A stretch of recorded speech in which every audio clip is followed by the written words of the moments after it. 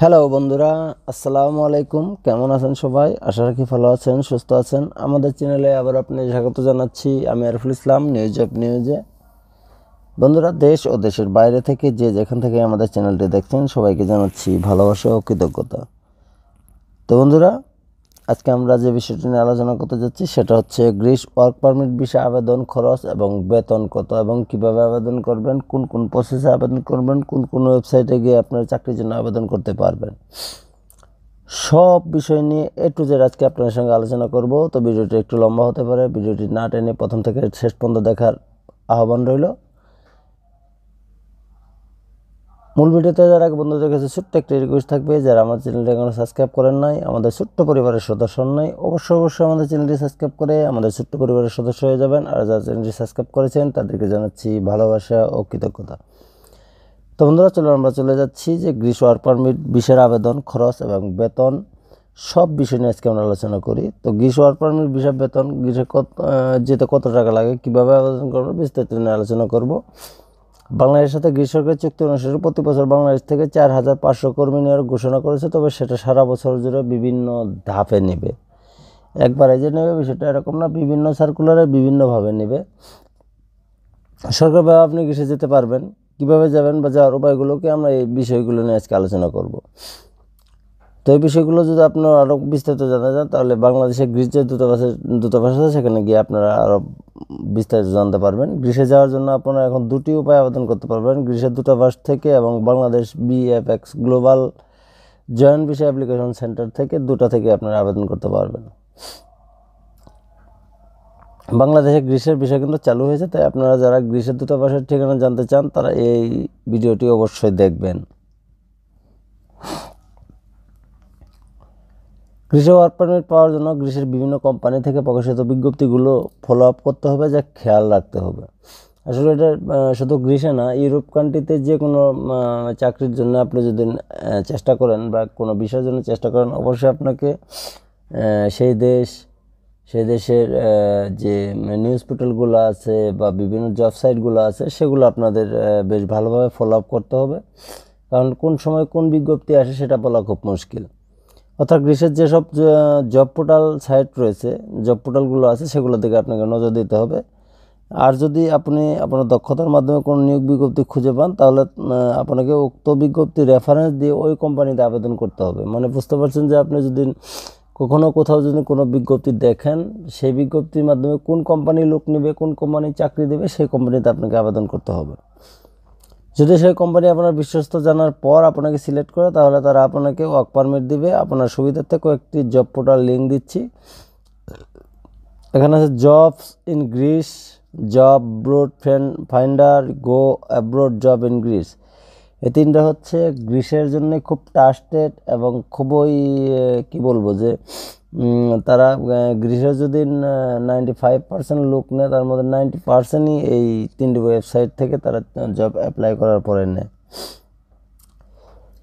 কৃষি অর্পণ বিষয়ের ডকুমেন্ট কী কী লাগবে?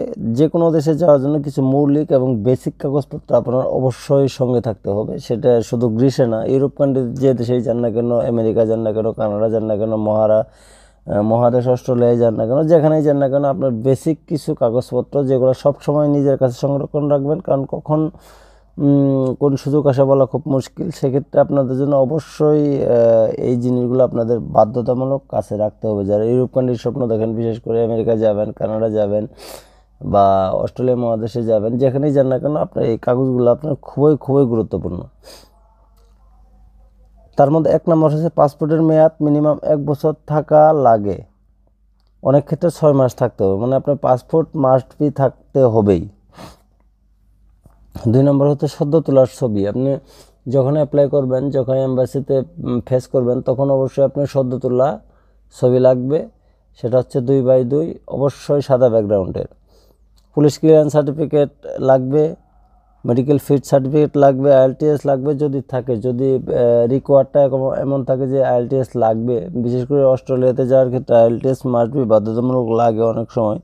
তো যারা আইএলটিএস করেন না এখনও তারা আইএলটিএস করে রাখবেন। যারা ইউরোপ কান্ট্রির স্বপ্ন দেখেন, তারা আইএলটিএস করে রাখলে তাদের প্লাস পয়েন্ট থাকল আর কি। ব্যাঙ্ক স্টেটমেন্ট লাগবে স্টুডেন্ট ভিসা ও ট্যুরিস্ট ভিসা যারা আবেদন করবে, এই দুইটার ক্ষেত্রে ব্যাঙ্ক স্টেটমেন্ট লাগবে। জাতীয় পরিচয়পত্র ফটোকপি লাগবে আপনার ভিসা ধরনের উপর নির্ভর করে আরও কিছু কাগজপত্র লাগবে, যেগুলো আপনার যে অ্যাম্বাসি থেকে যাবেন বা যে এজেন্সি থেকে যাবেন তারাই বলে দেবে যে আপনার কী কাগজপত্র লাগবে।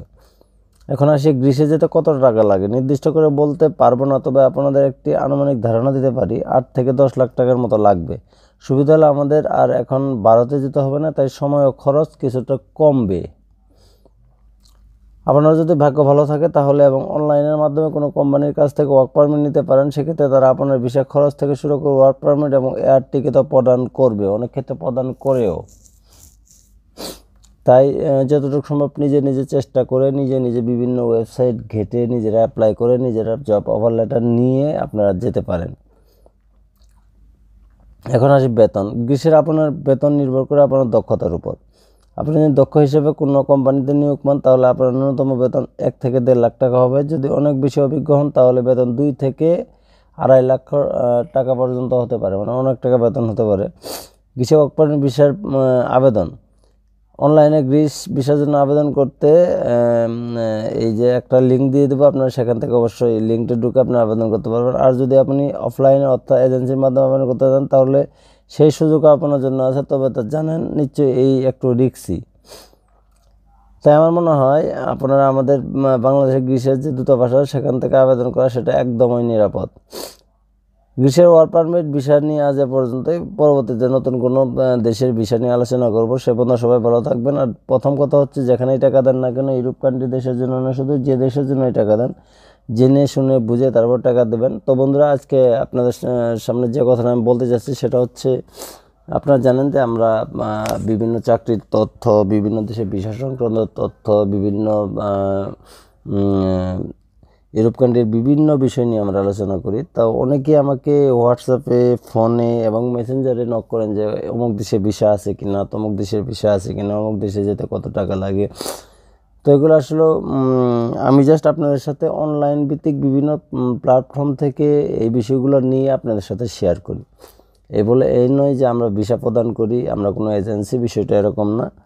তো যারা মিডিল ইস্টে যেতে চান, তাদের জন্য আমরা ভিসা ভিসা প্রসেস করে থাকি, যেমন Saudi Arab, Qatar, Dubai, Bahrain Jordan এই সমস্ত দেশে যারা যেতে চান, তাদের জন্য হয়তো আমরা ভিসা ভিসা প্রসেস করতে পারি।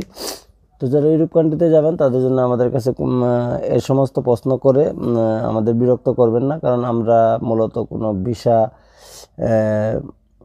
দেওয়ার জন্য দিতে পারি না। কারণ আমরা জাস্ট আপনাদের সাথে আপনাদের সহযোগিতা করার জন্য আমরা বিভিন্ন তথ্য, বিভিন্ন উপাত্ত আপনাদের সামনে শেয়ার করি।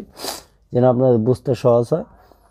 তো বন্ধুরা, আরেকটা কথা বলে রাখি, যারা ইউরোপ কান্ট্রিতে বা কানাডা, আমেরিকা যেতে চাচ্ছেন, তাদের জন্য অবশ্যই অবশ্যই যে প্রথম যে জিনিস দুটো লাগবে, যদি আপনারা কোনো কোম্পানিতে জবের জন্য অ্যাপ্লাই করেন বা কোনো কোম্পানিতে সিবি ডপ করেন। সেক্ষেত্রে আপনাদের দুটো জিনিস বাধ্যতামূলক লাগবে, সেটা হচ্ছে একটা ইউরোপিয়ান স্টাইলের সিবি লাগবে আর একটা কভার লেটার লাগবে। আপনার কভার লেটারটা হচ্ছে আবেদনপত্র। আপনি যে কোম্পানিতে আবেদন করবেন, কার বরাবর আবেদন করবেন, এটা জাস্ট তাদেরকে বোঝানো যে আমি আমি এই কোম্পানিতে আবেদন করতেছি, আমার এই যোগ্যতা আছে। এটা হচ্ছে কভার লেটার আর সিবি তো মানে বুঝতে বায়ো বায়োডাটা রিজিউম যেটাই বলেন না কেন, যাই যেভাবে বুঝেন তো যারা ইউরোপের স্টাইলে সিবি এবং কভার লেটার বানিয়ে নিতে চান, তারা আমাদের সাথে যোগাযোগ করতে পারেন। আমরা চেষ্টা করব সর্বোচ্চ ভালো একটা সিবি এবং কভার লেটার আপনার তৈরি করে দেওয়ার জন্য। তো বন্ধুরা, আজ এ পর্যন্তই। আশা রাখি ভিডিওটি ভালো লেগেছে। যদি ভালো লেগে থাকে, অবশ্যই অবশ্যই আমাদের চ্যানেলটি সাবস্ক্রাইব করে আমাদের পাশে থাকবেন।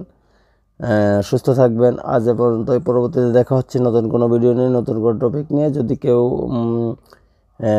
কোনো দেশ সম্পর্কে, কোনো দেশের বিষয় সম্পর্কে, কোনো দেশের চাকরি সম্পর্কে জানার ইচ্ছা থাকে, তাহলে অবশ্যই আমাদের কমেন্ট বক্সে কমেন্ট করে জানাবেন। আমরা চেষ্টা করব আপনার সেই মূল্যবান মন্তব্য নিয়ে আমরা পরবর্তীতে নতুন ভিডিও তৈরি করার জন্য।